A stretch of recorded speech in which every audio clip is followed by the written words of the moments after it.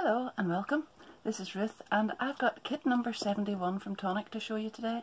So this is the box and I think we'll just open it up and dive straight in. I've already had a look in this and it's absolutely jam-packed. Um, I don't know why but it just seems to have more stuff than usual in it. Maybe that's my imagination but there's lots and lots of lovely goodies in here. We've got the dies and stamps in there, a little booklet to tell you what to expect inside, this beautiful, well, it's always a surprise what's in there. And then this says free gift while stocks last. So that's a packet of A6 ivory white cards and envelopes and that's your bonus thank you gift. Ooh, very nice. And then this is the bit that I always look for first. So I'm going to open up this pack of papers and we'll see what the colour scheme is and then we'll have a look at the dies. This a4 folder is actually really, really handy as well. I always keep all my bits and pieces in there while I'm using the card and it keeps them really tidy and handy and then I know where to find them all in one place. And look at that already, isn't that just the most beautiful collection and selection of not only colours but finishes of the card. I'm just going to cover that, but there is silver mirror card in there too. Look at that, beautiful. Anyhow, this time, I actually I don't always get these little booklets and things because I get mine well in advance, but this time it's here and I'm happy to see that. A few ideas there of what you can make with the die set, but it also tells you what to expect in here as well. So we've got paper-wise and card-wise, we have got Arctic Blue, that's this one. So that's texture weave.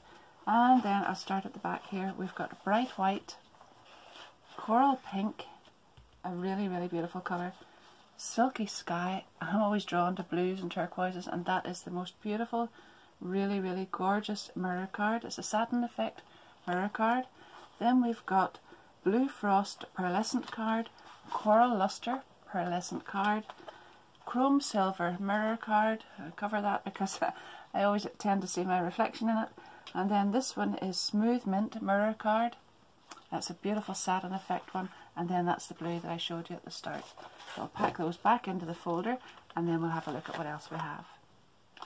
This is the little folder and then every three months you'll get a binder to keep these folders in as well and usually uh, three, sometimes four fit in there as well.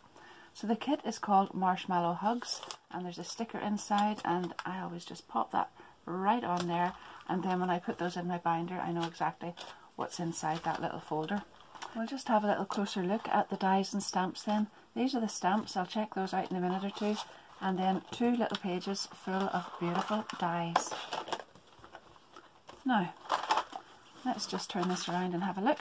So first of all you can see we've got a mug and this is the one with the handle so that would be the main mug shape there and then we've got this one which has tabs on it and you can use that to make a pocket.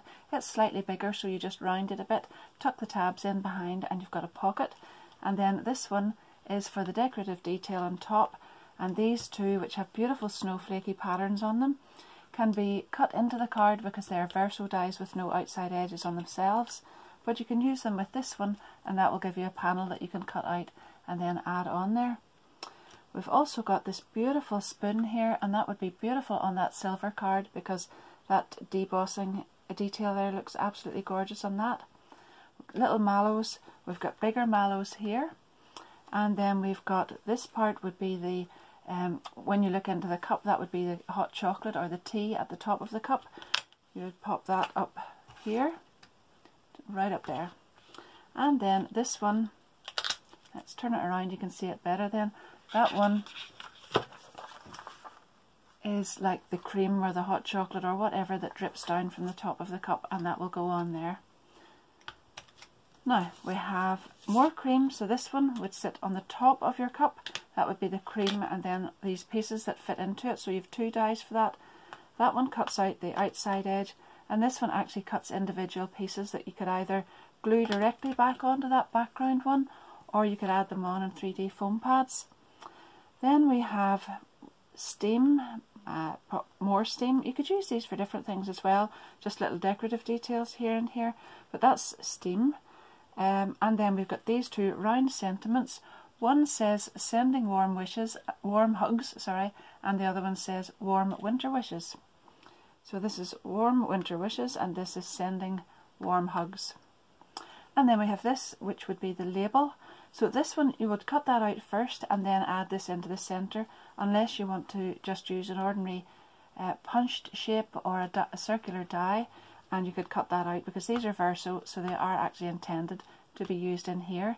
And then these are little extra details that fit on here and just add a little bit of extra on there. So that's all of the dies accounted for. We'll have a quick look at the stamps and here they are.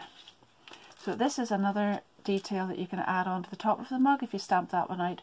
There's a beautiful pattern on there. I think that would look really, really beautiful if it was embossed as well with beautiful embossing powder.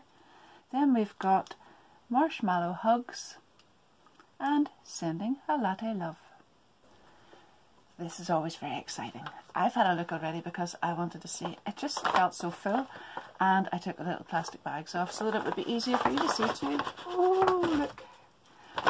Right, lots and lots of stuff there and I'm going to read my little list so that I give you the correct names. But there's a pencil case first of all, which is absolutely fantastic. I love those because they're really, really sturdy. You can feel the lovely mesh inside them and they're great for keeping everything that you have that sort of size together. I sometimes keep pens and things in there, all sorts of things actually. Anyhow, as well as that we've got some glimmer paste which is really, really sparkly and this one is called Shooting Stars. So you can use that through stencils, you can use it just to dab on different things. It would be really, really gorgeous on this set here, just sort of dabbed around the edges. So lovely. You can dry that with a heat gun or just let it dry naturally. It doesn't take too long to dry. And then we've got a glue pen. So this is a medium-sized glue pen. You could just activate the tip by pumping this up and down on something. Um, I'll do it just for a minute or two.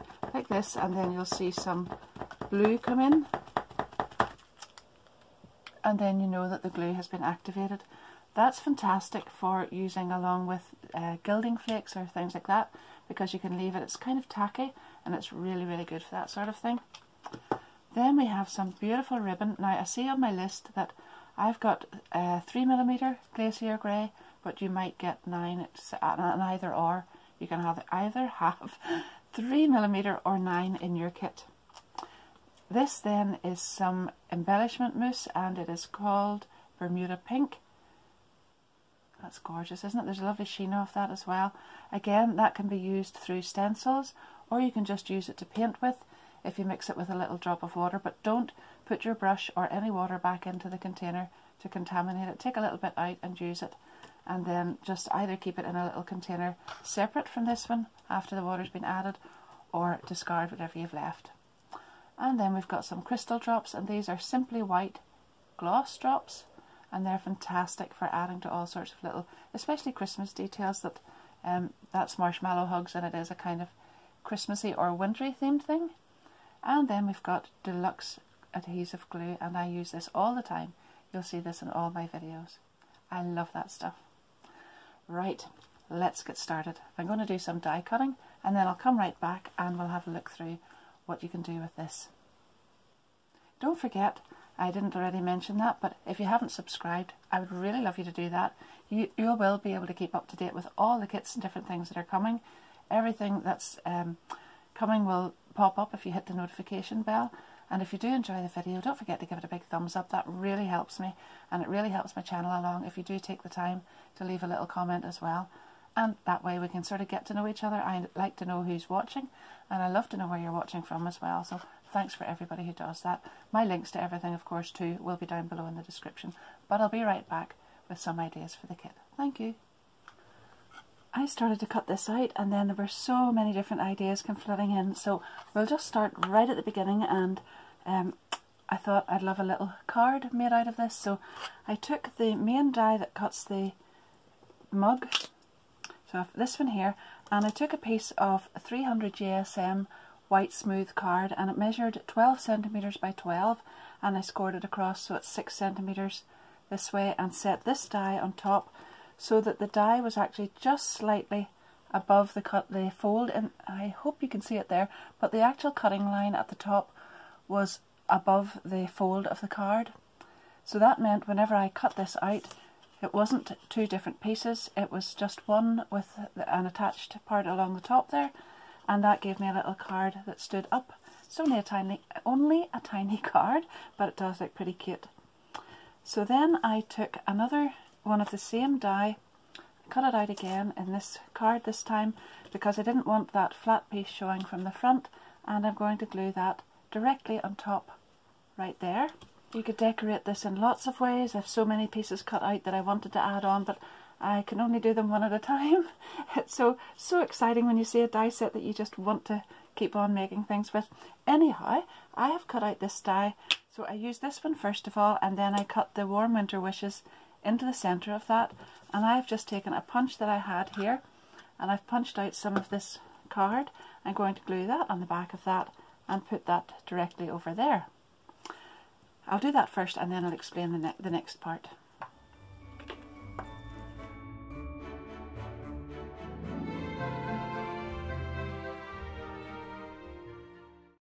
That's how it looks and I've put the two little pieces on here just to add some of the background colour onto the top and then I'm going to turn it over so you can see on the back here that I wanted to add another piece on the front just like I've done here and then I want to add the pocket so I've cut out some of the bright white card with the same die but I've cut it out on the reverse so that the panel shows you that the Craft Perfect card is there. Now that doesn't really matter because I am going to be covering most of it with a pocket but I really wanted just to put this on and show you how it works. I've cut that out and obviously because it's on the reverse then it's not got the finished side on here. And I went around all of those edges with my little bone folder and just burnished them down so that there's no edge sitting up on it and that makes it a lot tidier looking. And I'm going to glue that directly on there. But before I do that I want to add my little pocket on. And I know the pocket could just go on like this. I have used the large die for that. That's this one. And I'm going to give that just a little shape around my pokey tool or something round, probably a glitter marker. Just a slight curl like that and then I could just add this straight on there. But I want to add it on with the tabs in below that.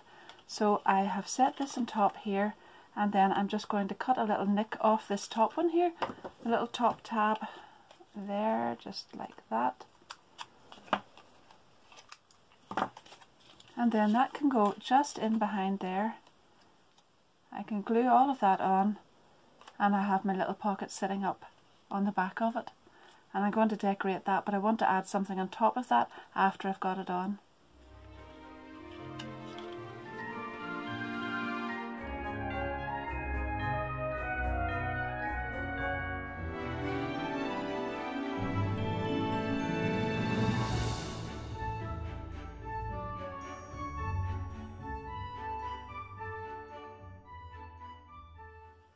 Isn't that a really, really lovely little design on the back as well? So now I want to add more decoration onto the front. I actually had the teaspoon cut out and I've cut it out twice. So I've got it in silver, it is really nice. And then I've got it in the pearlized card on the back. And I was going to pop it in there, but I think it might just not be strong enough to stand up and then you wouldn't see this piece. Um, I'm not too sure. So I think what I'm going to do is I've cut this one out in silver and then I have cut these out in white and glued them directly on top and I want to add those on there so I'm going to add this little oval on first. Now you could probably have done this or I could have done this before I added the pocket on but I like to have it all in place and make sure that it's going to sit properly first. So I'm going to glue this one on and then this one on here and then this one just on there. We've got a pocket in the back then that we can add some well, hot chocolate or something that would be nice for a gift in there.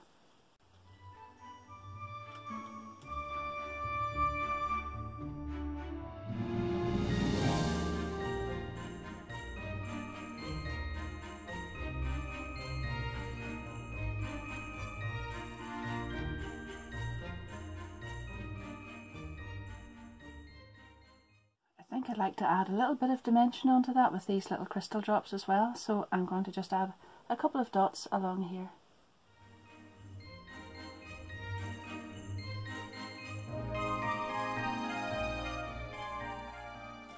I have cut a panel of the white card here and it measures 10 centimeters by 14 and a half and I've got the beautiful embellishment mousse and you can see I've already been testing it out and it looks really really lovely there so I'm going to just do very very roughly on the back on, on the back of the um, actual cup die or mug die with some of this sort of streaked onto the card and I've taken a quite an old rough brush because I really just want those brush strokes to be shown in this and I'm just going to swipe that quite thickly up and down the card and I definitely do not want to make this a sort of a too smooth and cover the whole thing and going for this kind of rougher look.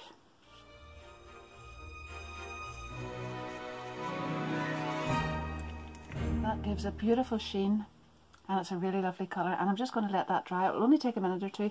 If it takes any longer than that and I have to carry on, I can just dry it with my heat gun.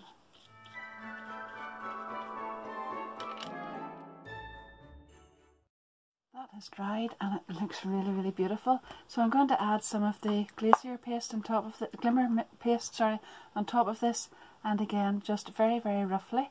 This is actually an older pot of it that I have that's the same colour because I don't like to open a new one until I finish the old one, but it's really just to get a few swipes of that going on there. Ooh, that does look nice.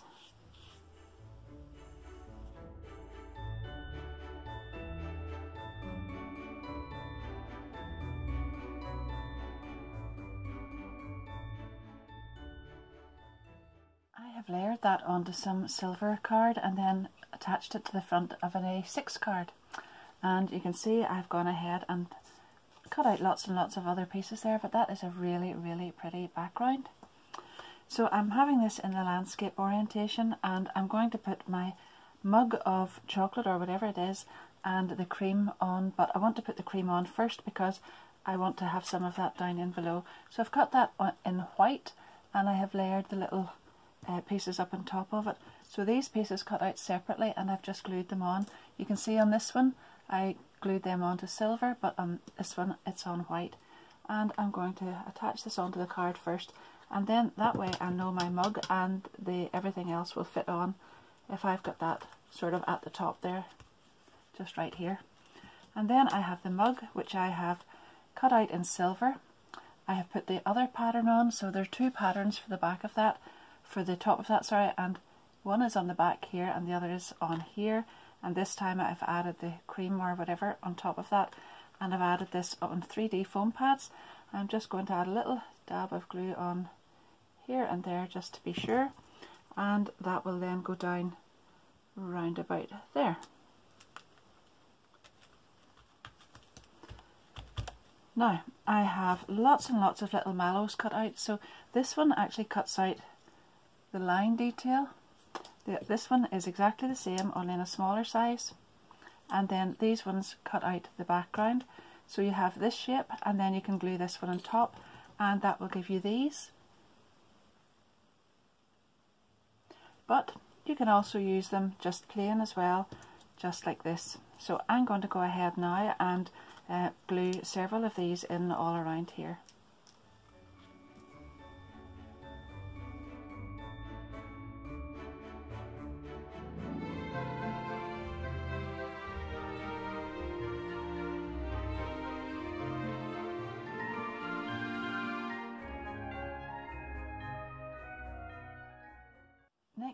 Cut out this die. So you can see that I cut the whole thing intact and then you can just take the circle out or cut these side pieces off. I actually just put it into a circle punch and it took out this tiny piece from the outside. And then I backed it onto a circle from my punch again in this colour so that's the um, I can't, I can't remember the name but um, I'm going to put that on up there when it's going on a textured background, as I said there, I like to put a little drop of glue on as well, and then that's going to go up there. Now I've got a spoon and I'm just going to work out where that would go. Yeah, that would be nice just about there, I think.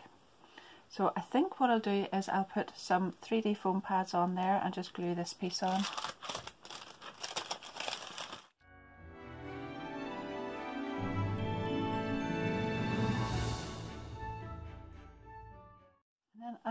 These two little swirly pieces in silver and I want to balance this out so they're going to go on here and I'll just glue them um, enough glue to make sure they grab on top of that texture but that should just finish that off nicely.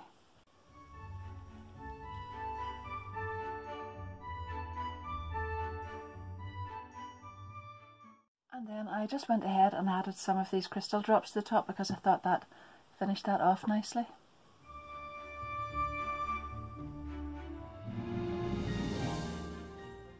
I've gone ahead and made another one in more or less the same way as I've made the others there, except that this time I've used a little piece of vellum in behind here and I've used it as the pocket and I've put the pocket on the front instead of the back this time. And you can see, hopefully you can see down in there that that would be lovely to slip a little tag or a little gift or a little packet of hot chocolate or something down into. And um, I think that turned out rather well. I love that colour, so I wanted to be sure and add the spoon in to bring the background in, and then I've cut out the back of the um, cream there in the same colour as well. And then I have taken the little die that I've used before on here, across the front of this one, and I've just cut out the centre of it with a circle punch, or circle die actually I used on that one, because I thought that the little snowflake in there was too pretty to be covered up and I just wanted to cover that side piece and leave that empty or open in the centre. So I'm going to go ahead and add some glue on there and add this over the top. And of course this one is for sharing, so you can see there that we've got two spoons. One, two. And I'm going to go ahead again because I just really, really like this dotty effect on them. So I'll add some white dots to the background on here and uh, around here as well.